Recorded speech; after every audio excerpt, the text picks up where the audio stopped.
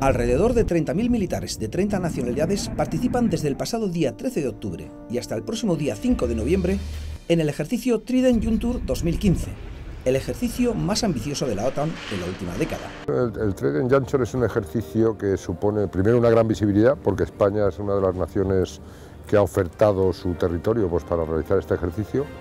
En segundo lugar, supone un enorme impulso para el propio cuartel general español, tanto por la visibilidad que tiene como por el hecho de que ahora mismo ayer precisamente nos hemos certificado con, muy buena nota, como dicen por ahí, en el papel de componente tierra de la, de la Fuerza de Respuesta de la Alianza. El ejercicio se divide en dos fases, una de puestos de mando y la fase real que empieza el miércoles día 21. Esto es el centro de operaciones de las fuerzas del mando componente terrestre. Desde aquí se controlan todas las operaciones que organizan las unidades subordinadas. España es una de las naciones anfitrionas, junto a Portugal e Italia. De hecho, de los 16 escenarios donde se desarrollan las maniobras, 8 pertenecen a España y en ellos desplegarán cerca de 20.000 militares de distintas nacionalidades.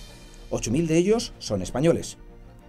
Concretamente, el Ejército de Tierra participa con más de 4.700 militares, 23 carros de combate, 93 blindados y 6 helicópteros, dos de ellos de ataque y 4 de apoyo y transporte.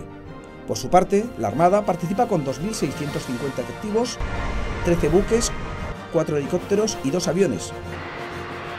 Finalmente, el Ejército del Aire participa con unas 500 personas, 29 aviones y 2 helicópteros.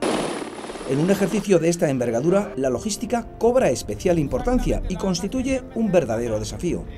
Para un logista es una operación real, en la medida en que estamos desplegando y estamos apoyando a contingentes reales, a personas que necesitan manutención, alojamiento, sanidad, a vehículos que necesitan ser conducidos a lo largo de las rutas de comunicación, recuperados. Es en suma una auténtica operación logística para nosotros. Con el Trident Juntur, la OTAN quiere mostrar su preparación y la capacidad de las naciones que la forman para dar una respuesta conjunta y coordinada a las amenazas presentes y futuras. Se realizan diferentes operaciones terrestres, marítimas y aéreas. Acciones como desembarcos anfibios, lanzamientos paracaidistas, acciones en ambiente urbano, actuación de fuerzas de operaciones especiales y operaciones ofensivas terrestres. Durante su participación en el ejercicio, la NRF ha sido evaluada y certificada para 2016, momento en el que España asumirá las competencias de despliegue rápido de la OTAN. Este tipo de ejercicios nos permiten, sobre todo y fundamentalmente, eh, es una oportunidad para explicar a la gente la relación que existe entre la seguridad y el desarrollo. El hecho de que seamos los países con mayores niveles de desarrollo humano no es casual, sino es fruto de los principios que defendemos de libertad, democracia y Estado de Derecho. Y precisamente esos principios son los que defendemos en la OTAN. No cabe duda que el esfuerzo que está realizando este cuartel general y está realizando España en la defensa de esos principios asegurará el, desarrollo de, de España y de los países que forman parte de la alianza.